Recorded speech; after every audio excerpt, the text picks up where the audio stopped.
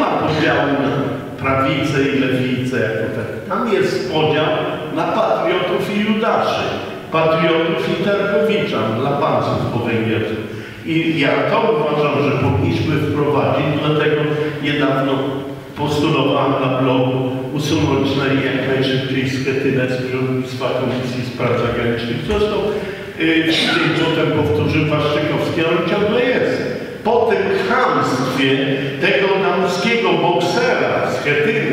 wobec pani premier Szydło, yy, które zaobserwowaliśmy, go natychmiast powinno się zdjąć z tego przewodnictwa komisji. Można dać komuś innemu, nawet z PO, ale taki facet powinien, tym bardziej, że ciągle skamla o pomoc zagraniczną i wyrażał hasło totalnej opozycji. No po co go trzymamy? W Węgrzychu są w takich sprawach tam jest dużo ostrzejszy podział i nie boją się wojna domowa,